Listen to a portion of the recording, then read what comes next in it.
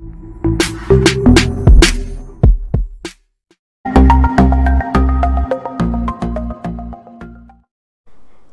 అండి.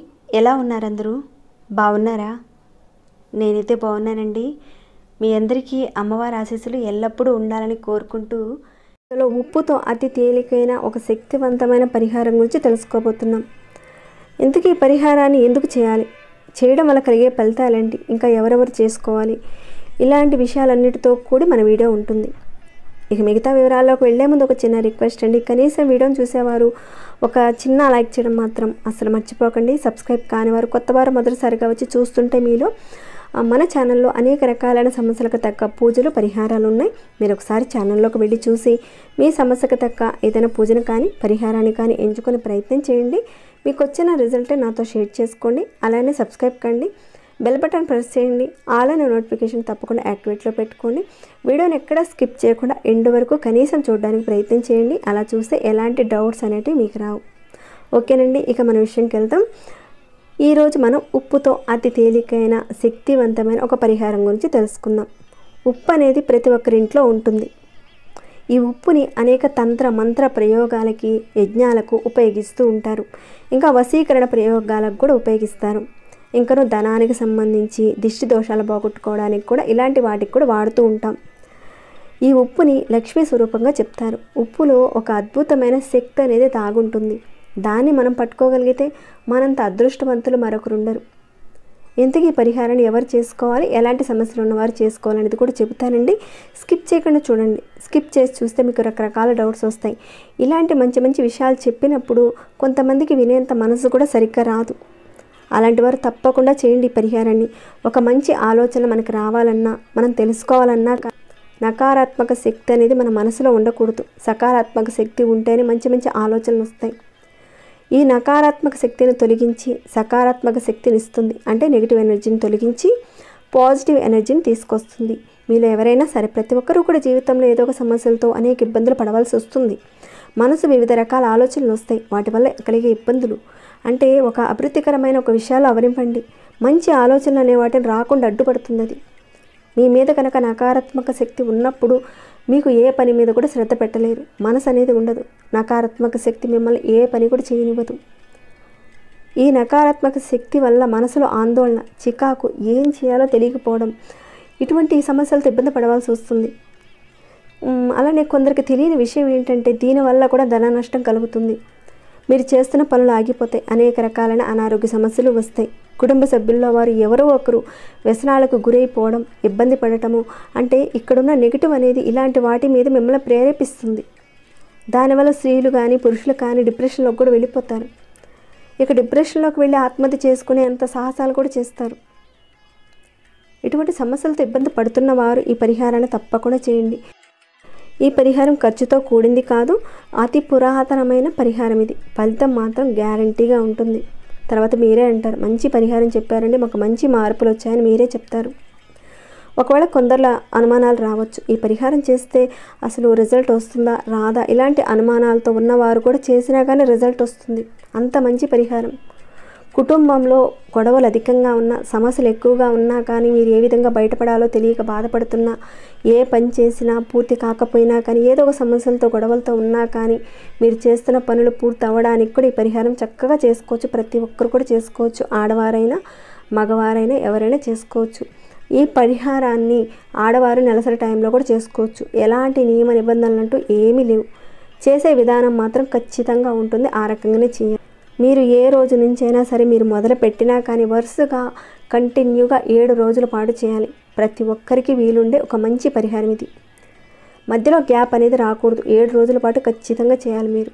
ఈ పరిహారాన్ని ఉదయం నుంచి రాత్రి పడుకునే లోపల ఏ సమయంలోనైనా సరే చేయొచ్చు. ఇక ఈ పరిహారానికి మనకు కావాల్సింది కళ్ళుప్పు. సముద్రపు ఉప్పు అంటారు కదా మెత్తటి ఉప్పును మాత్రం వాడకండి. కళ్ళుప్పును మాత్రమే వాడాలి. గళ్ళుప్పు అని కూడా అంటారు. ఒక్కొక్క ప్రాంతాల్లో ఒక్కొక్క రకంగా కూడా పిలుస్తారు. మరి మీ ప్రాంతంలో ఏమంటారో కూడా కాస్త తెలియజేయండి. తర్వాత ఇక్కడ పరిహారానికి పచ్చ కర్పూరం కావాలి.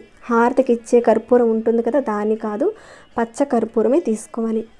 ఇక ఈ పరిహారానికి మీరు స్నానం చేసిన తర్వాతనే ఈ పరిహారాన్ని చేయాలి. ఏదైనా ఒక గదిలో కూర్చొని చేసుకోవచ్చు. దీన్ని మీరు పర్టికులర్గా పూజ గదిలోనే కూర్చొని చేయాలనేం లేదు. ఏదో ఒక గదిలో కూర్చొని చేసుకోవచ్చు. ఈ పరిహారాన్ని కింద కూర్చొని కూడా చేసుకోవచ్చు. కూర్చున్నప్పుడు ఆసనం వేసుకొని చేయండి. అలానే కుర్చీలో కూర్చొని కూడా చేసుకోవచ్చు. ఇక శుభ్రమైన ఒక క్లాత్ అనేది వేసుకొని కూర్చొని చేయాలి. మంచం మీద మాత్రం కూర్చొని చేయకండి. మీరు కింద కూర్చున్నా కుర్చీలో కూర్చున్నా కానీ మీరు తూర్పు వైపు ముఖం పెట్టి కూర్చొని చేయాలి. ఇక్కడ దీపారాధన అనేది ఆవు నిధితో చేయాలి. ఖచ్చితంగా దేవుడు పటాల దగ్గర వెలిగించాలని ఏం కాదండి. మీరు కూర్చున్న చోటనే వెలిగించుకోండి. ఒక చిన్న ప్లేట్ అనేది పెట్టుకొని ఒక మట్టి ప్రమిది కానీ మామూలు కుంది కానీ పెట్టుకొని దీపారాధన చేసుకోవాలి. అంటే ఈ దీపారాధన చేయడానికి ముందు మీరు తూర్పు వైపుగా కూర్చొని దీపారాధన మాత్రం మీ వైపుగా చూస్తున్నట్టుగా వెలిగించుకోవాలి. అంటే మీరు తూర్పు వైపుగా ముఖం పెట్టారు. దీపం మాత్రం పడమర వైపుగా చూస్తూ ఉండాలి ఆ దీపం అనేది. రెండు ఒత్తులు వేసి విడివిడిగా దీపారాధన చేయండి. దీపారాధన చేసిన తర్వాత ఒక ఏడు ఉప్పు కళ్ళు చిన్న ముక్కలు ఒక ఏడు తీసుకోండి. కుడి చేతిలో ఒక ఏడు తీసుకోండి. అలానే ఎడమ చేతిలో ఒక ఏడు పెట్టుకోండి. చిన్న ఉప్పు కళ్ళు తీసుకోండి. తర్వాత ఒక్కొక్క చేతిలో అంటే కుడి చేతిలో ఒక పచ్చకర్పూరం బిళ్ళను పెట్టుకోండి.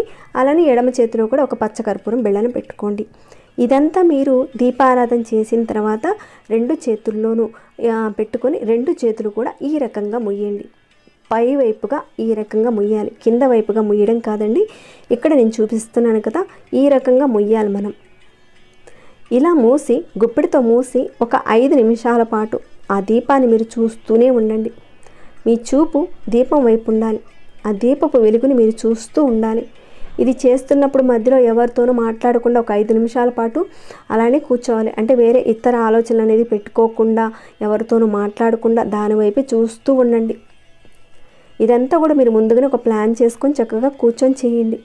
ఐదు నిమిషాలు అయిపోయిన తర్వాత మీ చేతిలో ఉన్న పచ్చ కర్పూరాన్ని ఆ ఉప్పుని ఒక ప్లేట్లో పెట్టండి. ఐదు నిమిషాల పాటు మీరు చూసి ప్లేట్లో పెట్టిన తర్వాత మీ బాల్కనీలో కానీ మీ ఇంటి బయట కానీ టెర్రస్ మీద కానీ అలా మీరు బయటికి వెళ్ళినప్పుడైనా సరే అక్కడ అంటే మీరు బయట వైపునే చేయాలి ఇదంతా. ఇంటి లోపల కాకుండా బయటకి తీసుకువెళ్ళి ప్లేట్లో వేసి వెలిగించాలి.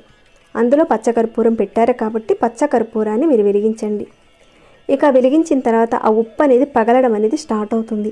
అది ఏ రకంగా పగులుతుందో అలా మీలో ఉన్న నెగిటివ్ ఎనర్జీ ఇంట్లో ఉన్న నెగిటివ్ ఎనర్జీ అంతా కూడా పగిలిపోతుంది అనమాట అంటే పూర్తిగా పో పోతుంది. కాకపోతే అది పేలేటప్పుడు కాస్త మీరు దూరంగా ఉండండి. అది పేలి మీ మీద పడే అవకాశం ఉంటుంది.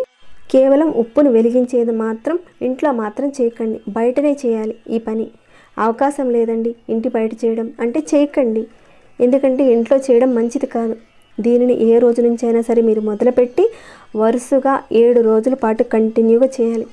ఈ దీపారాధన మీరు చేసిన తర్వాత ఇరవై నాలుగు గంటల్లోనే మీకు మార్పు కనపడుతుంది. ప్రతి ఒక్కరు ఈ పరిహారాన్ని చేసి చూడండి. ఎప్పుడూ ఏదో ఒక మానసిక చింత మనశ్శాంతి లేకుండా ఉండి బాధపడేవారు తప్పకుండా చేసుకున్నట్లయితే అదంతా కూడా ఆ బాధ అంతా కూడా తొలగిపోతుంది. ఆ సమస్యలు ఎవరికైతే ఉన్నాయో వారు మాత్రమే చేయండి. సమస్యలు లేని వారు చేయనవసరం లేదు. ఇది చాలా పురాతనమైన పరిహారం. ఇలా చేసిన తర్వాత మిగిలిపోయిన ఆ కళ్ళుప్పుని అదంతా కూడా షింకులో వేసేయండి. ఇక దీపం వెలిగించిన ఒత్తులు ఉన్నాయి కదండి వాటిని తీసుకువెళ్ళి చెట్టు మొదట్లో వేసేయండి. ఎవరూ తొక్కని ఒక ప్రదేశంలో వేయండి. ఈ పరిహారంలో అతి శక్తివంతమైన శక్తి అనేది ఉంటుంది. ఈ పరిహారం చేసిన ఇరవై నాలుగు గంటల్లోనే మీకు మార్పు కనపడుతుంది. చిటికలో అలా తీరిపోతుంది సమస్య. చాలా ఫాస్ట్గా రిజల్ట్ వస్తుంది. ప్రయత్నించి చూడండి. చేసిన తర్వాత మీకు వచ్చిన రిజల్ట్ని తప్పకుండా నాతో షేర్ చేసుకోండి. మార్పునైతే తప్పకుండా చూస్తారు. ఓకేనండి? ఇక ఈ వీడియోని ఇంతటితో ముగిస్తున్నాను. ఇంకేమైనా డౌట్స్ వస్తే కనుక అడగండి రిప్లై ఇస్తాను. మీ మనసుకి ఎలా అనిపించిందన్న మాట కూడా ఒక చిన్న కామెంట్ ద్వారా తెలియచేయండి. లైక్ చేయని వాళ్ళు ఒక చిన్న లైక్ చేయండి. సబ్స్క్రైబ్ కాని వాళ్ళు సబ్స్క్రైబ్ చేసుకోండి. ప్రతిరోజు మన ఛానల్లో ఉన్న వీడియోస్ని చూస్తూ ఉండండి. మరొక భక్తి వీడియోలో మళ్ళీ మిమ్మల్ని కలుసుకుంటాను. అంతవరకు సెలవు.